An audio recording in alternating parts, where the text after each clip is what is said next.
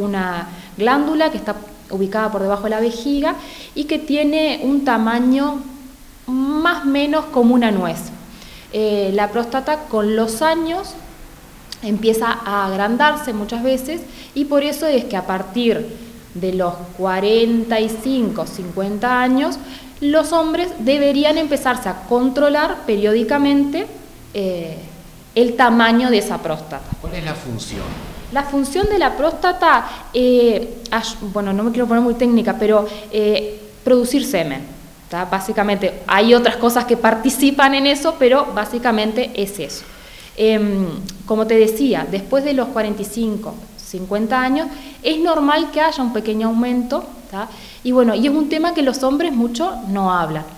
Eh, hay síntomas, cuando uno habla con una persona de 60, 70 años, el hecho de la necesidad de orinar, que tienen más necesidad de orinar o que no llegan al baño, es por muchas veces, una de las causas es el crecimiento de la próstata.